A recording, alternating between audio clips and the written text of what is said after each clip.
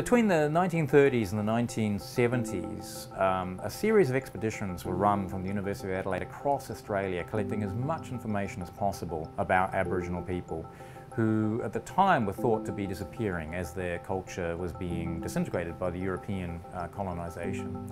And so they were led uh, in particular by Norman Tindale from uh, Adelaide and Joseph Birdsell from uh, Harvard and they went on camelback originally, eventually, eventually on Land Rovers, all across Australia, collecting genealogical information, language, um, song lines, art, everything that people were willing to pass on was recorded, including video and sound recordings, which, if you can imagine, from the back of a camel, was quite, quite an achievement.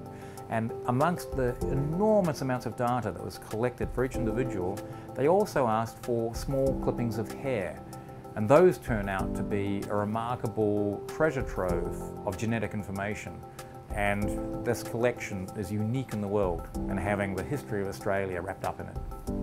I was eight, you know, I was about eight then, and so I, was, uh, wasn't very old to remember a lot of stuff. And I was on Point Pearce and I was going to school there and uh, I was one of the Grua uh, students and we called ourselves Grua's Doers. so it was a, we all came from the school, you know, the ones that got measured.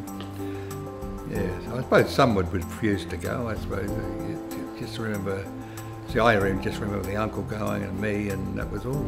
You know, you remember them with white coats and you know, all their instruments and he measured my arms and they put caliber across my head and uh, then he snipped my hair and then he said to me, what colour hair you got, son? I said, brown. He said, here, have a look. And it was black. And I think he thought I was an idiot, but so I've had every colour hair, which he wouldn't have known that because I was born with golden blonde hair, then went mousy, brown, light brown, dark brown, black. So I'm very pleased about how the project has turned out because I think Tindale, when he was collecting this information, really wanted to get at these questions. He made the first really detailed map of different Aboriginal territories and was very interested in their history.